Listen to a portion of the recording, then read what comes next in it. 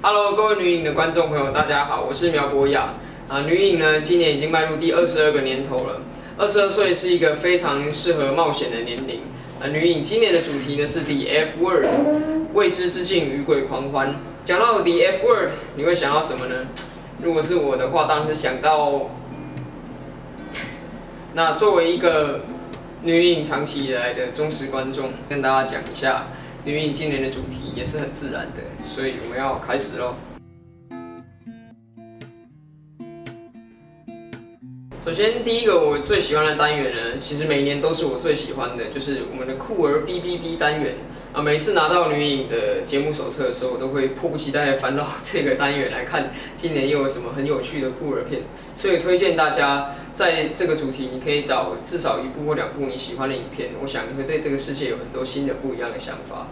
接下来最后两个单元我要一起介绍，因为呢这两个单元其实放在这里五分钟的短片是有点不适合的。这两个单元的深的深度都已经快要超出我个人能够很短时间之内理解，并且很短时间内解释分享给大家。第一个是隐患新浪潮，隐患新浪潮这个单元呢，对于像我这样子比较没有艺术的领略力人而言，其实是。呃，有一点距离的，但是我想有非常多的人在这个单元里面呢，是取得了非常非常多的乐趣。因为当你的想象力被开启的时候呢，你能够所体会到的东西，我相信会比单纯的画面或是单纯的言语能得到的更多。那第二个是法克国家 （Fucking Nation） 这个主题呢，看起来很严肃，但是事实上它也是最切合现在时事的主题。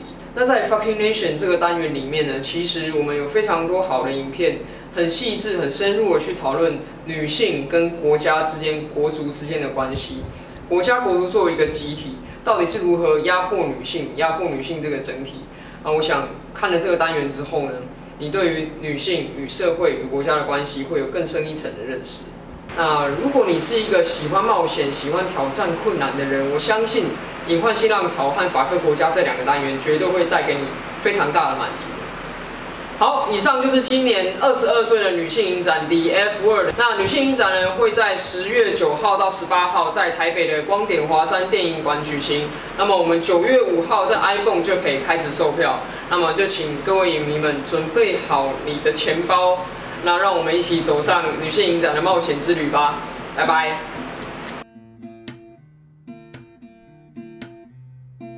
那今年女影的主题是 The F Word，呃，偷看 NG 画面，我偷看的。好，希望也可以提到我们主标未知之境。对对，我是我是想要提这个，可是刚刚就是卡单。还是我放在这边啊？大字放。我这样应该看得到，如果在这里。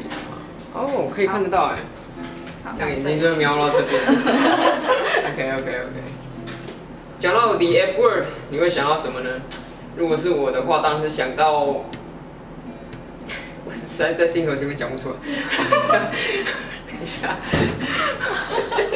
我没有办法我下定决心这样子做。